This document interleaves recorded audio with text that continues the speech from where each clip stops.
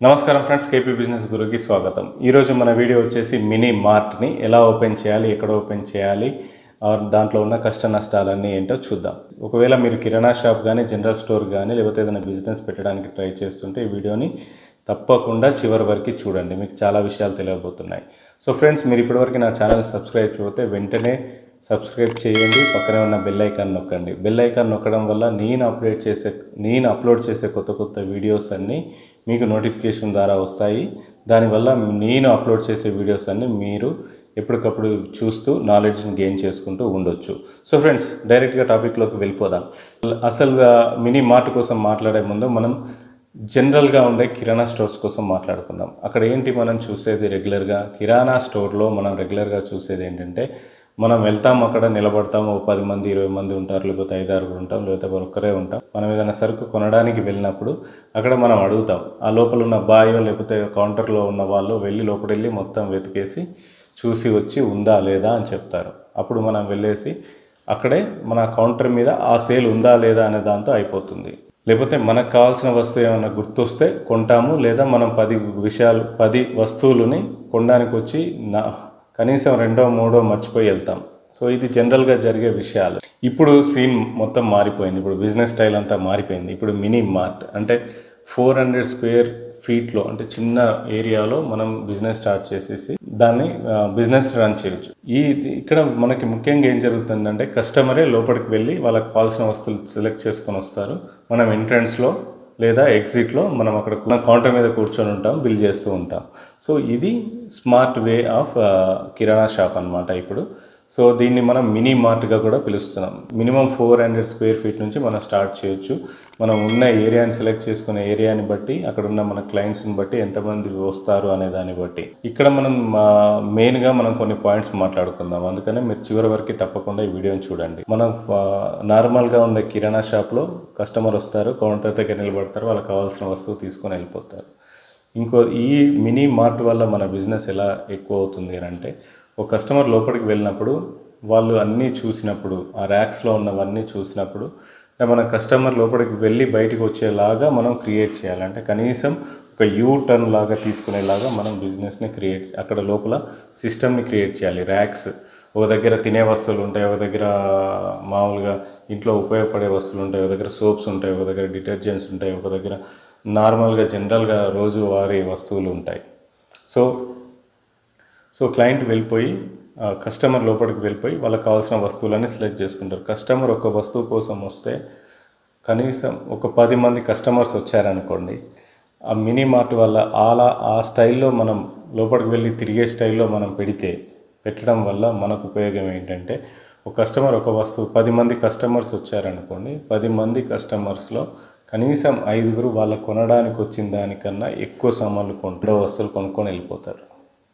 మళ్ళీ ఎక్కువ అడగరు. ఎందుకంటే మనమే వెళ్తాం లోపలికి వెళ్తాం తీసుకొచ్చి ఇస్తాం ఉందా లేదా అని చెప్తాం. కానీ ఇక్కడ క్లయింట్ కస్టమర్ లోపలికి వెళ్ళినప్పుడు మాత్రం ఖచ్చితంగా నాలుగైదు వస్తువులు కొనుక్కొని వెళ్తారు. ఇది మన విషయంలో కూడా ఛాన్సాలు జరిగి ఉంటుంది. మీరు కూడా అబ్జర్వ్ చేయండి. మీరు సూపర్ మార్కెట్ వెళ్ళినప్పుడు లోపలికి వెళ్ళినప్పుడు మీరు ఒక వస్తువు కోసం అయితే రెండు మూడు అవసరం లేకపోయినా కూడా కొనుక్కొని వస్తారు. సో అది ఇంపార్టెంట్ సో ఇందులో ఇంకొకటి మనం ఈ మినీ మార్ట్ని ఎక్కడ పెట్టాలి?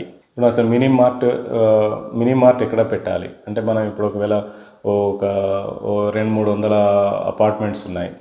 ఒకటే సింగిల్ కాంపౌండ్లో. అందులో మనం పెట్టుకోవచ్చు ఒక కాలనీ ఉంది దాంట్లో మనం పెట్టుకోవచ్చు. దాని తర్వాత మంచి ఏరియా ఉంది గుమ్ముకూడి చాలా మంచి లొకాలిటీ ఉంది. మిడిల్ క్లాస్ ఇన్కమ్ ఉన్న వాళ్ళ లొకాలిటీ ఉంది అక్కడ మనం పెట్టుకోవచ్చు. ఇలాంటి ఏరియా మనం సెలెక్ట్ చేసి పెట్టుకున్నప్పుడు మనం ఏం చేయాలి అని అంటే మనము అక్కడ హోమ్ డెలివరీ కూడా మనం ఇవ్వాల్సి వస్తుంది. హోమ్ డెలివరీ వల్ల మన బిజినెస్ చాలా ఇంక్రీజ్ అవుతుంది. సో ఇంకొకటి నేను ఇంతకుముందు ఒక వీడియోలో చెప్పినట్టు అమెజాన్లో అమెజాన్ లోకల్ షాప్లో కానీ మనకి ఇంకా ఫ్యూచర్లో రాబోయే జియో మార్ట్లో కానీ మనము మన షాప్ని లిస్ట్ చేసుకుంటే మనం అక్కడి నుంచి లోకల్ డెలివరీ కూడా చేసుకోవచ్చు. మనకు ఆన్లైన్లో అదనంగా కూడా ఆర్డర్స్ వస్తాయి.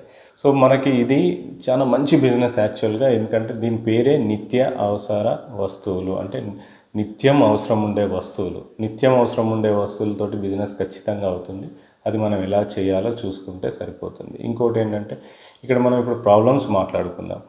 సో ఇక్కడ మనం ఇప్పుడు రెంట్ తీసుకునేది ఎంతలో తీసుకోవాలనేది మాట్లాడుకుందాం. ఒకవేళ మీది పది లక్షలు సేల్ అవుతుంది అనుకోండి మనం మ్యాక్సిమం థర్టీ థౌజండ్ వరకు మనం రెంట్ పెట్టుకోవచ్చు. అంతకన్నా ఎక్కువ పెట్టుకోవడానికి లేదు. ఎందుకంటే ఇందులో మనం అప్ టు మనకి చాలా వరకు ఒక దాంట్లో తగ్గిన ఒక దాంట్లో పెరిగిన ఫిఫ్టీన్ పర్సెంట్ వరకు మార్జిన్ ఉంటుంది. సో దాన్ని బేస్ చేసుకొని మనం రెంట్ ఎంత తీసుకోవాలి ఎంత తీసుకోవద్దు స్క్వేర్ ఫీట్ తగ్గించుకోవాలా పెంచుకోవాలా చూసుకుంటే బెటర్ మరి ఇంకొకటి కస్టమర్ లోపలికి వచ్చినప్పుడు ఏ వస్తువు లేదు అనుకోకుండా గుండు సూది నుంచి ప్రతి ఒక్క వస్తువు నిండుగా షాప్ కనబడాలి. సో స్లోగా స్లోగా స్లోగా ఇంప్రూవ్ అవుతుంది. ఇక్కడికి వస్తే ఖచ్చితంగా దొరుకుతుంది అనేలాగా మనం క్రియేట్ చేస్తే చాలా మంది మళ్ళీ మళ్ళీ మళ్ళీ మళ్ళీ రిపీటెడ్గా వస్తారు. మనకి ఇక్కడ ఉన్న డ్రాబ్యాక్స్ ఏంటి అంటే మనకి ఎందులో అయినా ట్వెల్వ్ అవర్స్ లేకపోతే నైన్ అవర్స్ ఎయిట్ అవర్స్ చేస్తే సరిపోతుంది వర్కింగ్ అవర్స్ ఇక్కడ మాత్రం మనము మార్నింగ్ ఎయిట్ కానీ మార్నింగ్ సెవెన్కి కానీ ఓపెన్ చేసి నైన్ వరకు ఓపెన్ చేసి పెట్టుకోవాలి. ఇదొకటి డ్రాబ్యాక్ సో ఇంకొకటి ఇదొకటి డ్రాబ్యాక్ ఇంకొకటి వచ్చేసి ఎక్స్పైరీ డేట్స్ ఎక్స్పైరీ డేట్ అయిపోయిన ప్రొడక్ట్స్ కొంతమంది కొన్ని బ్రాండ్ వాళ్ళు తీసుకొని రిటర్న్ తీసుకొని వెళ్తారు కొంతమంది తీసుకొని వెళ్ళారు. సో ఎక్స్పైరీ డేట్ ఎలా ఉంది ఏంటి ఉంది అనేది కరెక్ట్ ఇన్ఫర్మేషన్ మన దగ్గర ఉండాలి. సో దానికోసం మనం అంటే ఈ ప్రాబ్లమ్కి సొల్యూషన్ ఏంటంటే ఎక్స్పైరీ డేట్కి ఎక్స్పైరీ డేట్స్ ఉన్న ప్రొడక్ట్స్ని తొందరగా సేల్ అవుట్ చేయడానికి మనం ఆ సాఫ్ట్వేర్లో మనం ఎంటర్ చేసేసుకోవడం వల్ల టెన్ టు ట్వెల్వ్ థౌసండ్లో మనకు సాఫ్ట్వేర్ వస్తుంది. ఆ సాఫ్ట్వేర్లో మనం ఎంటర్ చేసుకోవడం వల్ల అది మనకు ముందే రిమైండ్ చేస్తుంది. దాన్ని ఏం చేస్తాము? బాగా కనబడే దగ్గర కొంచెం ఆఫర్ క్రియేట్ చేసి పెట్టేసేసుకుంటే మనం ఏదైనా ప్రోడక్ట్ కొంటే దాంతోపాటు ఇది కొంచెం రేట్ తగ్గించేసి ఇచ్చేయడం వల్ల మనకి సో అదే బిల్డింగ్ సాఫ్ట్వేర్ మనకు ఉండడం వల్ల ఇలాంటి అడ్వాంటేజెస్ కూడా ఉంటాయి. సో బిల్డింగ్ సాఫ్ట్వేర్ మనం పెట్టుకోవడం వల్ల ఎన్ని ఎన్ని ప్రొడక్ట్స్ ఉన్నాయి ఎన్ని అయిపోయాయి మనం ఇంకెన్ని తీసుకొని రావాలి ఇంకేమైనా ఆర్డర్స్ మనం డెలివరీ చేయాలంటే ఏమైనా రిక్వెస్ట్ ఎవరైనా పెడితే మనకి ఇది కావాలి అంటే అది కూడా రిక్వెస్ట్ తీసుకొని పెట్టుకోవచ్చు. సాఫ్ట్వేర్ వల్ల కూడా చాలా లాభం ఉంది. ఇంకో విషయం ఏంటంటే మనకి మినీ మార్ట్లో కూరగాయలు ఒక పక్క పాలు ఒక పట్ పక్క మీ వేరే వస్తువులను ఒక పక్క బాగా ఆర్గనైజ్ చేసేసుకుంటే చాలా మంచిగా సేల్ గ్రో అయ్యే ఛాన్సెస్ ఉంటాయి. సో కూరగాయలకు ఎప్పుడు మన దగ్గర ఫ్రెష్గా ఉండేలాగా పెట్టుకుంటే కూడా మంచిగా సేల్ జనరేట్ అయ్యే ఛాన్సెస్ ఉంటుంది సో ఇంకొక ముఖ్యమైన విషయం నేను మర్చిపోయింది ఏంటంటే మీరు మీ ఓన్ బ్రాండెడ్ ప్రొడక్ట్స్తో పాటు మీరు కూడా కొన్ని హోల్సేల్లో కొనుక్కొని వచ్చి పప్పులు పప్పులు తర్వాత కారము ఇలాంటివన్నీ మీ బ్రాండ్ పైన కూడా ప్యాక్ చేసి పెట్టడం వల్ల ఒకరు మీరు మంచి బ్రాండ్ పైన ఒక ఫైవ్ పర్సెంట్ తగ్గించి అమ్మినా కూడా మీ బ్రాండ్ కొనుక్కొని వెళ్ళినప్పుడు మీ దగ్గర దాదాపు చాలా margin twenty to thirty forty percent మిగిలే ఛాన్సెస్ ఉంటాయి. సో ఇది వెళ్ళిపోతుంది. మీరు మంచి క్వాలిటీ మెయింటైన్ చేస్తే మంచి బ్రాండ్ని వదిలేసి కూడా ఇదే కావాలి అని అడిగి తీసుకుపోయే వాళ్ళు కూడా ఉంటారు. సో మనం కూడా మన ఓన్ బ్రాండ్ని కూడా మనము ఓన్ బ్రాండ్ ప్రొడక్ట్స్ని కూడా మనం ప్యాక్ చేసి అమ్మడం వల్ల కూడా మనకు మంచి లాభాలు ఉంటాయి. ఒక్కోసారి మన ఓన్ బ్రాండే చాలా పాపులర్ అయిపోయే ఛాన్సెస్ కూడా ఉంటాయి.